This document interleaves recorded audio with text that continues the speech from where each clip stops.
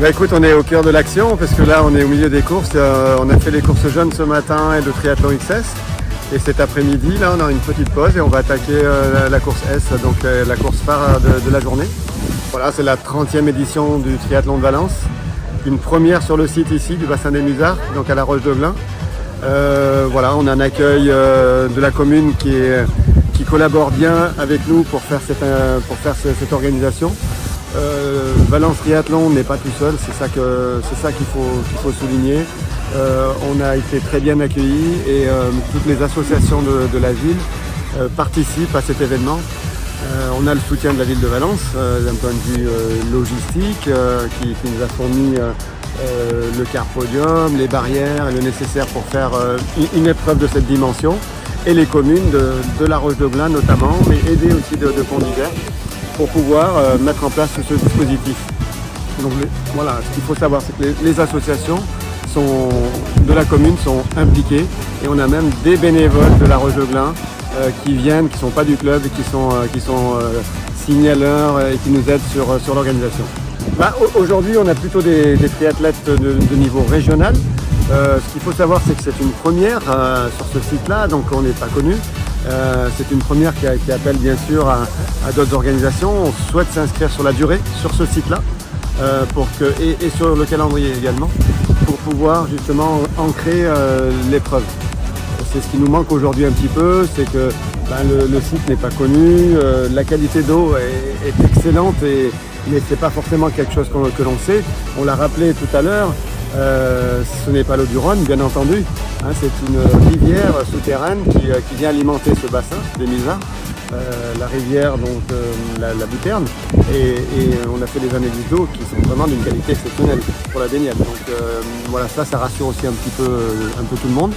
Euh, et puis on pense qu'il y aura un petit peu de, bouche à oreille forcément pour euh, les, prochaines éditions. Oui, euh, alors notre dernier triathlon datait de 2019, hein, donc c'était la période avant, avant Covid.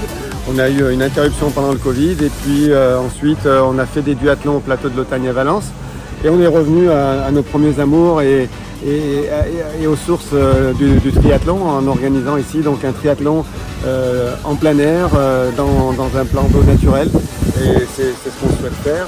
Et voilà, donc une première voilà, c'est une année d'apprentissage pour nous aussi.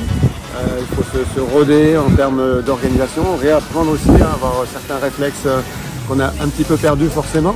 Euh, voilà, les, courses se sont plutôt bien passées ce matin. Un petit couac sur une, signalisation du premier coureur sur le parcours XS ce matin, mais bon, qui sera bien, entendu corrigé c'est quelque chose qu'on a, pu rattraper quand même euh, en, direct.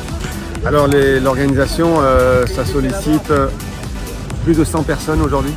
on est à 120, 130 personnes, tout compris avec les prestataires qu'on a sur, le site pour faire ce, type d'organisation. Donc ben voilà, moi je suis le directeur de, de, la course, mais il y a les chefs de poste, les bénévoles, les signaleurs, et c'est une organisation qui a démarré aujourd'hui euh, très concrètement il y a environ six mois. Et euh, on a mis ça en place euh, petit à petit. voilà, au départ c'était quelque chose qui était assez théorique en termes d'implantation. Il fallait qu'on ait, ait, cette première édition pour, voir les choses. Et je pense que globalement on n'est pas trop mal. Voilà, le, site est fabuleux. Euh, on a énormément de, spectateurs qui, viennent parce qu'ils ont l'habitude déjà de venir euh, à cet endroit euh, ben, pour, pour, pique-niquer, pour passer du temps en famille. et c'est un site qui se, prête magnifiquement au triathlon parce qu'il y, a la place pour les spectateurs pour vraiment voir ce qu'est un triathlon, comment ça se passe, avec une vision sur sur le, départ natation euh, qu'on a nulle part ailleurs, hein, parce que ici c'est un bassin, bassin sur lequel on pratique des joutes. Donc euh, tout est prévu déjà pour pouvoir euh, voir de manière correcte pour les spectateurs les, animations qu'il y a sur l'eau. Donc le, départ natation qu'on verra tout à l'heure sur, sur le S, ben, il y, a une place formidable pour, pour le public pour, voir ça.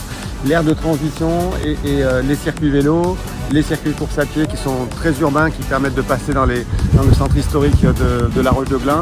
C'est quelque chose aussi qu'on souhaitait, mettre en, avant les, monuments de la ville et, les, ruelles pavées qui font un peu le, charme de, la Roche de Glin. Voilà, le circuit vélo est 100% sur, sur la commune de La Roche-de-Glin aussi. C'était un souhait qu'on avait en tout cas pour cette première édition.